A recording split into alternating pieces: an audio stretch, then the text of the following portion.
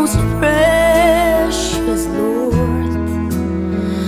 No tender voice like thine can pierce a voice.